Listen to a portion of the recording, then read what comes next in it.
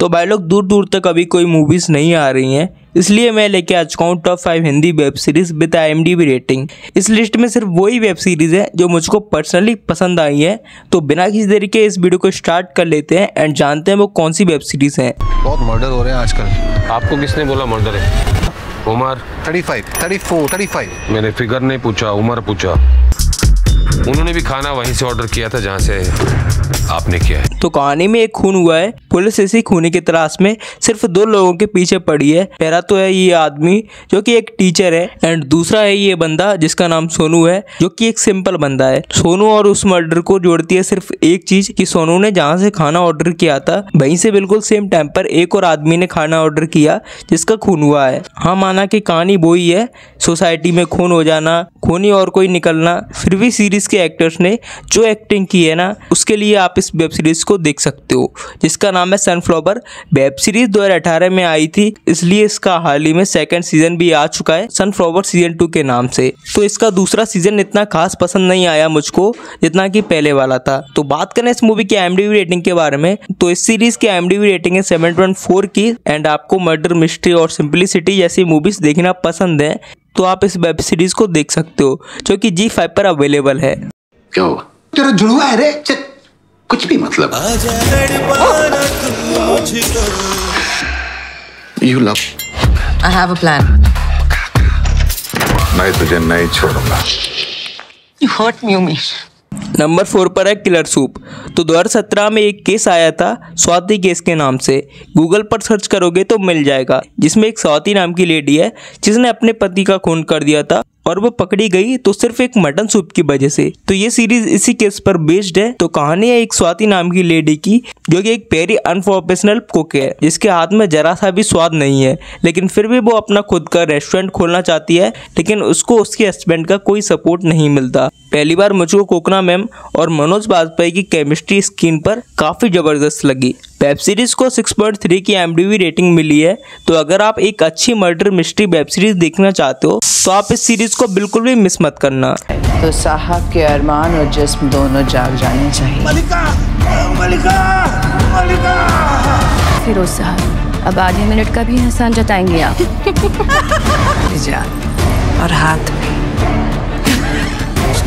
Number three पर है संजय लीला बंसाली की डायरेक्शन में बनी हीरा मंडी वेब सीरीज़ बात करें सीरीज़ के प्लॉट के बारे में तो कहानी में तीन पॉइंट्स हमको दिखाए गए हैं। पहला पॉइंट हमको दिखाया गया है, वो है इंडिपेंडेंस से पहले का। तो तब लाहौर में एक हीरा मंडी नाम की जगह फ़ेमस थी, जहाँ की तब नवाबों को खुश करने का काम करती थी, अपने हुनर से नाच गाने से। एंड दूसरा पॉइंट है सीरीज़ का, जो कि है आज़ादी, कि कैसे तब वाइफ को भी आज़ादी चाहिए।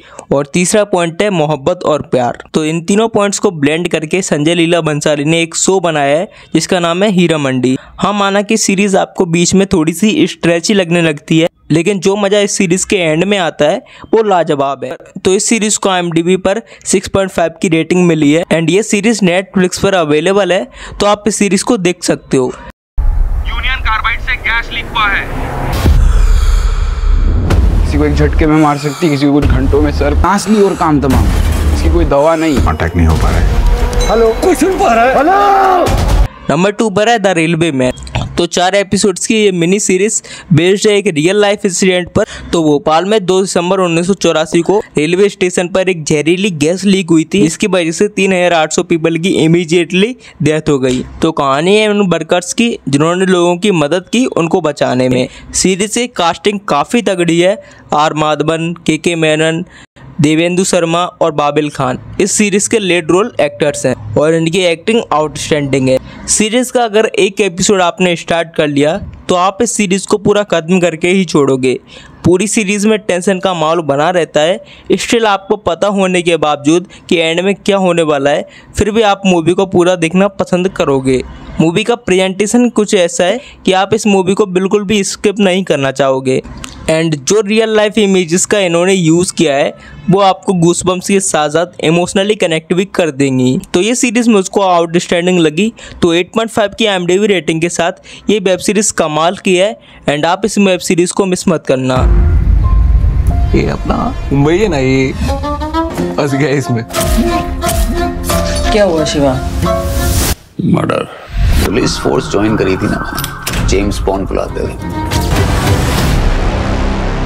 तो हमारे इस लिस्ट के नंबर वन पर है मर्डर इन महीम ये सीरीज़ एक नोवल बुक पर बेस्ड है, जिसका नाम है जेरी पिंटो तो बात करें इस सीरीज़ की तो एक रेलवे स्टेशन के टॉयलेट के अंदर मर्डर्स हो रहे हैं। तो सिंपल सी बात यह है कि महीम स्टेशन पर बैक टू बैक मर्डर्स हो रहे हैं एंड किलर बहुत ही लेजेड तरीके से इन मर्डर्स को अंजाम दे रहा है और सबूत के नाम पर कुछ नहीं छोड़ता।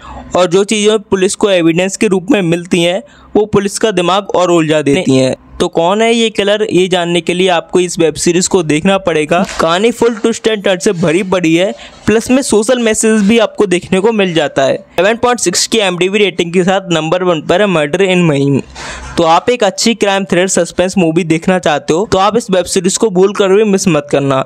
तो हमारी top five web series and आपको इन वेब सीरीज़ में से कौन सी वेब सीरीज़ अच्छी लगी देखने के बाद ज़रूर बताना. एंड ऐसी वीडियोस बनाने में काफ़ी ज़्यादा मेहनत और रिसर्च लगती है. तो वीडियो को लाइक चैनल को कर देना सब्सक्राइब मिलते किसी नेक्स्ट वीडियो में.